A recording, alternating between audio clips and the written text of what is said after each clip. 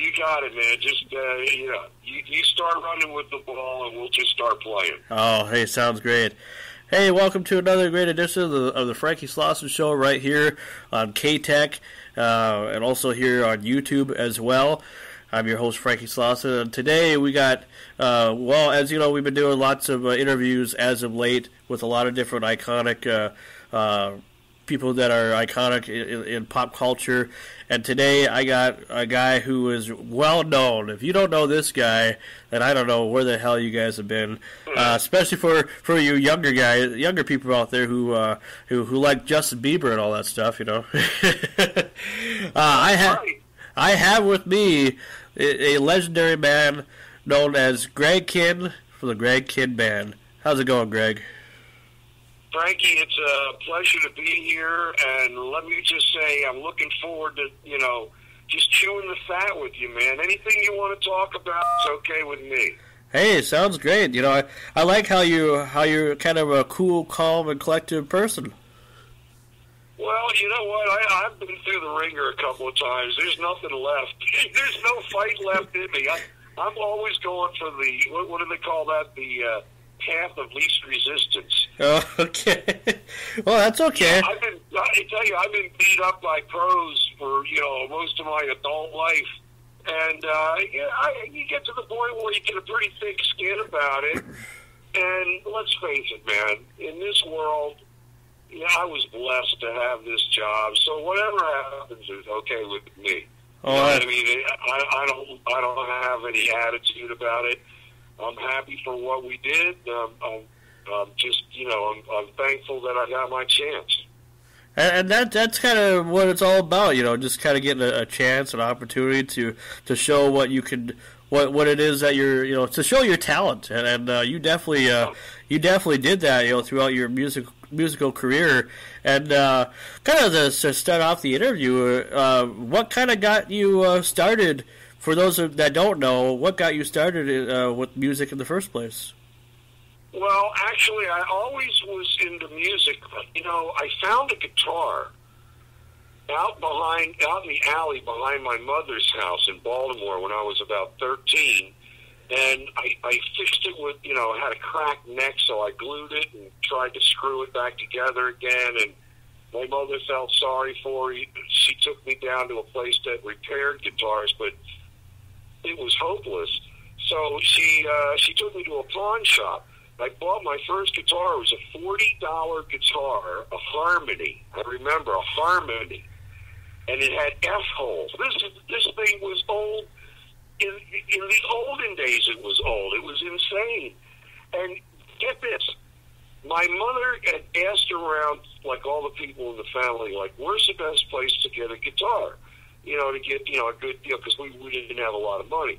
And my uncle James said, "Oh, you got to go down to the pawn shop. That's where it's at. You got to Oh, go sure. to the pawn shop. They got everything at the pawn shop." It happened that the pawn shop was on Baltimore Street, which is known in Baltimore as the Block.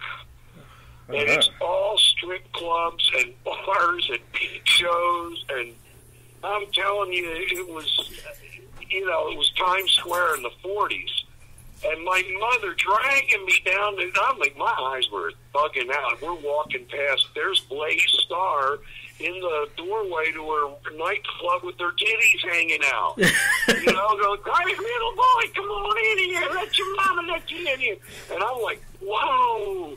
My eyes were bugged out. I was freaking out. Finally, we got to the end of the block. She pulls me into the pawn shop which we had to run the gauntlet of sex clubs to get to the pawn shop. I'll never forget. My mother was like a woman of iron. She had a grip on my arm, and she was moving as fast as I oh, had ever seen her move, oh, like a battleship. Oh, jeez. Anyway, so I, we go in the pawn shop, and the guy sells me. I remember to this day, forty bucks was my first guitar. Uh, and the rest is history. It was a lot of fun too, and the walk back, by the way, was incredible as well. Oh, I'm You sure. I mean? In- those days, they had pictures of the strippers, and these were like 50s and 60s strippers, right? These were like Tempest Storm and Blaze Starr, all these, you know, iconic Bettie Page style women.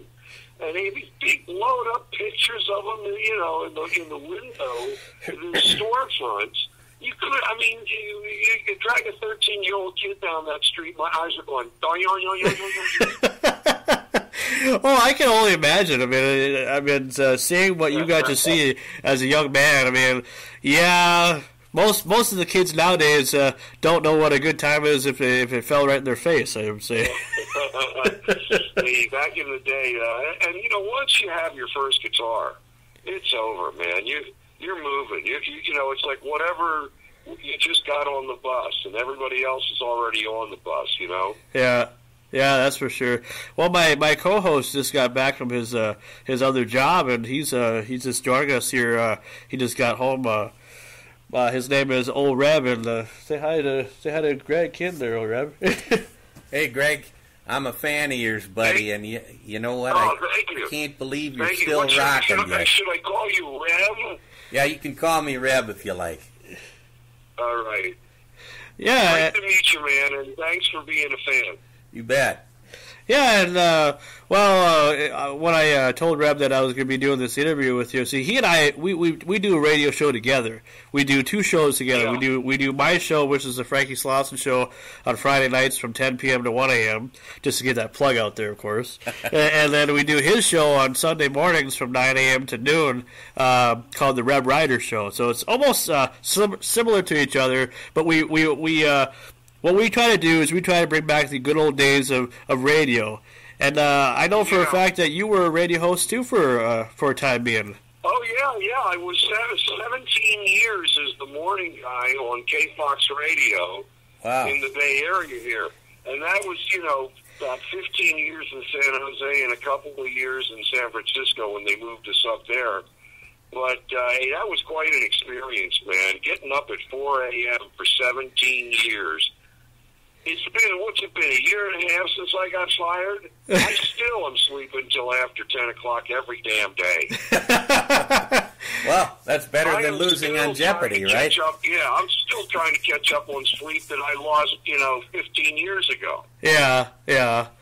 But I'm sure it's kind of cool is to say that you know, other than just being a musician, that you got to be a, a radio host too, because uh, you know that that I think you know being in radio and anybody that's been involved in radio, I think it's just a, a neat thing, and we need to keep that going. You know. Oh, yeah. Either that or, you know, you're just one of those guys. Remember that Jamaican guy who's got 27 jobs? I got so many jobs, man. I also like to do your wash, too, man. Yeah. Anyway, I, you know, it, after I got, after my radio show ended, which was uh, the first of the year, in a year and a half, okay? So I had gone out. The first thing I did was write a book. What do you do? You write a book. I wrote a novel called Rubber Soul, which is it's my fifth book actually, and it came out. It got really great reviews. In fact, if you go over to Amazon and and read them, it's just fabulous. So I just finished, and that was that was from Premier Digital Publishing. That's the name of the publishing Okay. company. PDP, they shortened for PDP. anyway, PDP signed me for the next book, which is the sequel to Rubber Soul. It's called Painted Black, and it's hmm. about the death of Brian Jones. Huh. So I'm I'm I'm working on the uh, uh, you know I'm working on the one and working on the other one too. So uh, after that one came out, PDP was bought. This is all. This is what happens in life. They were swallowed up by a bigger fish called Open Road Publishing, and they got a lot more money and they're a lot bigger, and they bought them and their whole catalog, including me. So now my new book's going to be coming out still in September, but it's going to be on Open Road Publishing, and it should be everywhere that books are sold. And of course, you can get it on Amazon or GregKihn.com. By the way, your source for all things Greg Kihn uh, is GregKihn.com. You, you, you want to know something? You want to know how many pimples I got? Go over there. I think they got them listed. Hey, Greg, would you like to hear hear a story how I got to be your fan? Okay, I'd like to hear that. I'm going down the road on a motorcycle, and I got a stereo system, and I hear the breakup song, and I I get back to the house and I tell the guy, "Get me everything on this Greg Kihn guy. Everything. I want tapes, whatever." And then when I got the all the music, I'd, I'd jump back on the motorcycle and go down the road rocking out to you. So that's how that happened. Um, you know what? It's good motorcycle music because it's like one man, you know, one song, one guy, one helmet, one world. You Yep. know. exactly.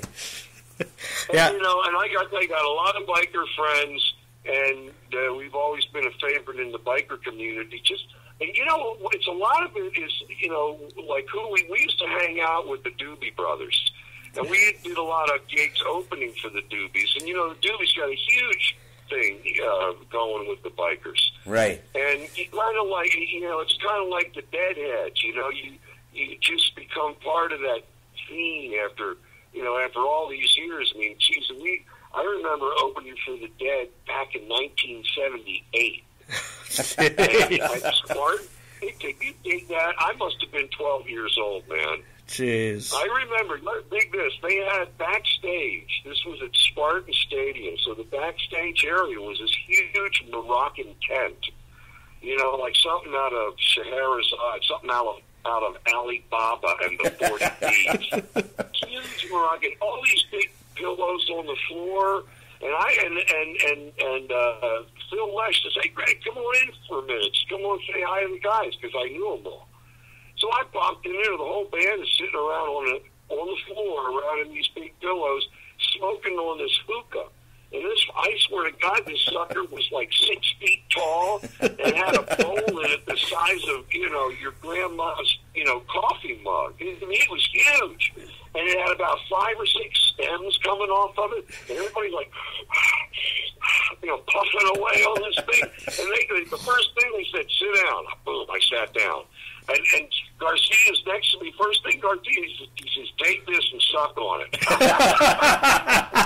I started, I started smoking that ash, man. And look, my guys are from Berkeley. We thought we could hang with the big boys. You know what I mean? Oh, absolutely. There's nothing that we could do. I mean, it pales next to the dead. Those guys, I got so whacked, and this is the, one of the few times this has ever happened to me in my entire life. I got too stoned to play. When they came up and they said five minutes, Mr. King, I said, "Well, what do you mean for Five minutes to what?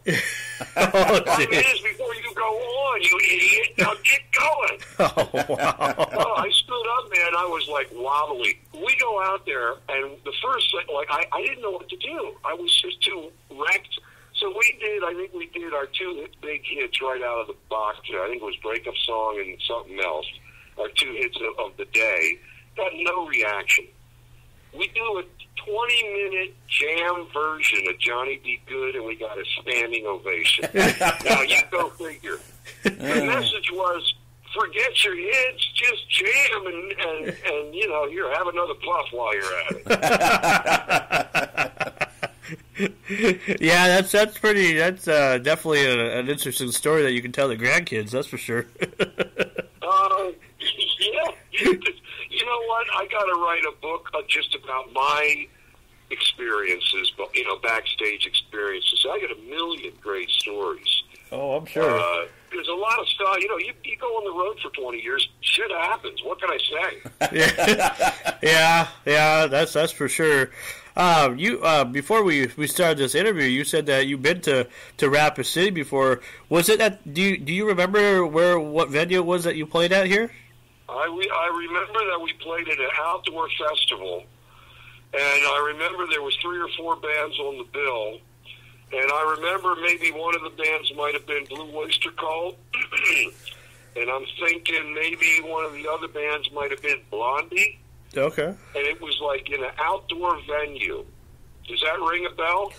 Well, I- I've only been to Rapid City here for a short time. Uh, Reb's been around well South Dakota for a little longer than I have. Boy, I'm not thinking what that would be, Greg, but maybe it was. Did it have something to do maybe with the Sturgis Motorcycle Rally or no? Yeah, might have been, might have been. Been a long Maybe I time, he dreamt said. the whole thing, guys. I don't know. well, yeah, I mean it's it's been a long time. That's why because at we this, point, at this, yeah, at this point in life, I can't tell whether it's true or I or I dreamed it. Well, that that almost quit, That almost sounds like the Buffalo Chip. About, I quit smoking about eight, ten years ago. I quit smoking cigarettes, Uh-huh. and uh, I was so guilty about it that I used to dream that I smoked. And then I wake up in the middle of the night and I felt guilty. Like, did I just smoke? Did I, you know, I had to smell my breath. Did I just drink, sleepwalk and just smoke a cigarette? but no, it was just the power of dreams. Yeah. Well, that's that's that's pretty exciting. No, we don't expect you to know every every every story. I mean, that's that's. Uh, but I, I'm pretty sure you did play here because you were talking about Mount Rushmore and the the the, uh, the gift yeah. shop. One of that one of the great gift shops of all time. Now, back in the day, back in the '80s, when I was on the road, I was an aficionado of great gift shops. We used to go to the gift shop wherever we were at. You know, me and the whole the whole band to go, and we we, we love gift shops. And I'll tell you that Mount Rushmore is a is a great one. You know what the best one is? Is uh, Cooperstown uh, Baseball Hall of Fame gift shop. Woo! that is a beauty. Uh, let's see. Oh, you know what else? The great Graceland. Across the street from Graceland, you know, Elvis's house. yeah. There's like a shopping center with everything Elvis. I mean, it's like a whole block, a huge building the size of a of a uh, you know like of a Macy's, and it's all Elvis stuff. It was unbelievable. I didn't know you could spend a grand in a gift shop until I went there. Geez, I bought Elvis uh, clocks, wall clocks. You know what I mean? Elvis tapestries, Elvis hangings, Elvis everything. I, it, it was insane. You must have been a really huge fan of Elvis, then, huh? Oh yeah, back in the day, we we got the tour of Graceland. It was pretty cool. You know, wherever we go, I, I'm very cognizant of rock and roll history. We always like to pay our respects, like we were in Memphis, and uh, you know, you want to, you, you definitely want to go to see Graceland, pay your respects to Elvis, see his grave, but you got to go to uh, Sun Records and see uh, the Sun Records studio Oh, yeah. and on uh, South uh, Union Avenue. It's unbelievable. It's like when you go to uh, Chicago and you go to Chess Records at 2120 South Michigan Avenue, and you realize everybody from the Stones to Bo Diddley, Chuck Berry, all of that stuff was recorded in that room. So there's a lot of rock history all around us. So, so as a musician and and, uh, with the career that you've had, uh, what do you think of uh, the music of today? And are you a big fan of a lot of the music of today? Well, I'll tell you, I'm trying to like it, man. I really am trying to like it. But it's not that easy. First of all, nobody seems to be writing really good songs. Like, I'm always on the lookout for a good song. You know, the kind of song gets in your head, you yeah, singing it in the shower and, and all that kind of stuff. Seems like all the songs in, in my day used to do that. They they stay with you. A lot of the songs now are just just that one. You know, they'll, they'll get a hook, but they won't develop the song. They'll just beat you to death with the hook. And I just feel like it's a period of rock and roll right now because you know it's like cyclical, cyclical. It's cyclical. Yes, there we go. There we go. It goes around. That's what I mean. It goes round and round and around. Uh, you know, eventually, uh, everything's going to come back to what it, you know where it was to the back to the basics.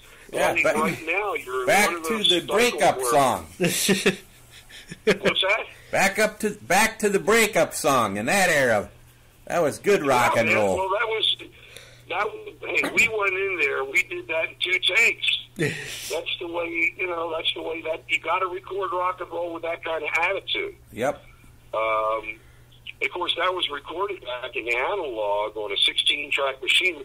We recorded that song at Fantasy Studios in Berkeley in the same room where Creedence made all those great records. You know, like Born on the Bayou. and Wow. Green River, That's and all awesome. that stuff, Proud Mary. Yeah. It was all recorded in Studio C at uh, Fantasy Studios, and uh, that's the same room that we did the breakup song in. Ironically, it's got a little bit of a Creedence groove to it. Have you noticed that?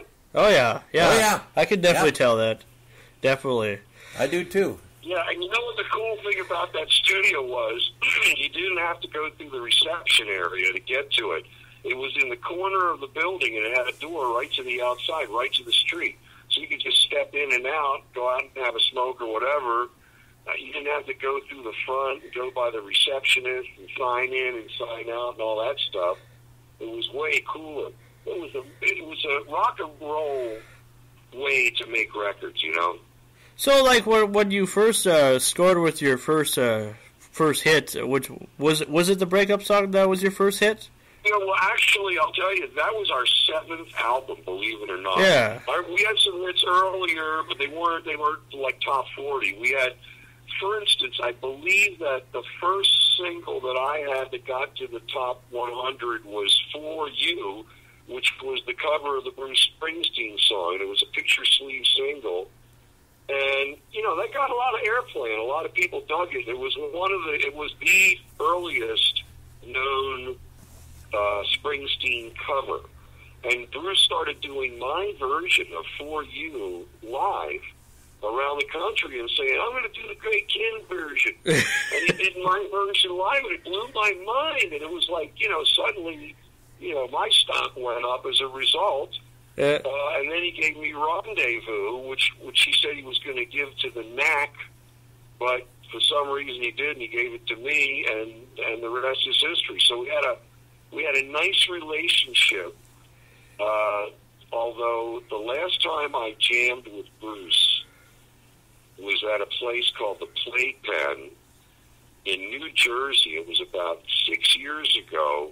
We had a jam session with like Elliott Murphy and uh, a whole bunch of guys. It was a real. It was a songwriters jam session, and they made a. a they made a, uh, a bootleg out of it called Live at the Playpen. And you can buy it out there. You can actually hear me jamming with Bruce Springsteen. Unbelievable, but true. So, what was your, uh, from what you can remember, what was your first real taste of success when you when you were starting to get known? Uh, I remember there was there, we started playing clubs, and then after a while, we started getting airplay, and you know we were getting media attention and, and lots of articles. Or and we were touring all the time because, but in those days, you could tour with FM airplay. You didn't necessarily have to have a, a, a hit single. You could just you know go into uh, you know, Akron and play the local club because the station was playing stuff off the album. So we did that for a long time. But I remember playing a club in San Jose, California, right down the road here, play, called the Odyssey Room, which was a big deal because it was a big club back in those days. And I remember our dressing room was right outside the women's bathroom. Okay? Yeah. So you could hear what they were saying inside the women's bathroom in our dressing room, just because of the way the acoustics were, right? So I hear these chicks talking. It's like halftime, right? And we're back there. I guess we were doing blow or whatever we used to do, smoking a joint, chugging beers. Who knows? we were busy doing what we did, and we hear these chicks talking. And I hear the one. And one says to the other one, she says, "Do you think Greg Kihn real name. and the other chick says, is whose real name? That's when I knew that I had arrived. Oh wow! You know, it's Yeah. like when when Weird when Weird Al does a parody of your song, you know you've arrived. Oh yeah, It's okay. You go in the history books. You're there. So you know, I, I we had a lot of great stuff. We were on Saturday Night Live. We were we opened for the Rolling Stones on a West Coast tour. We had a number one record. We toured the world, went you know all over, played in Paris and everything. So you know, I look back on it. It was it was just a great ride, man. I I, I can't imagine that I pulled all this crap off. How did I do it? You know, everybody in the beginning, you always say, "Oh, it's impossible. You'll never get a record deal," and we got a record deal. Oh, you guys will never have a hit record, and we had a hit record. Oh, you guys will never have another one, and we had a couple. Oh, you'll never get a, you'll never write a book, and I wrote a book. Yeah, you'll never get that published. I got published. You'll never get a radio job. So I got a radio job. You'll never be a morning guy. I, you know, I, all my life, people have been telling me why you can't do stuff. And I'm telling you right now, from my experiences, there's no reason. You can do anything.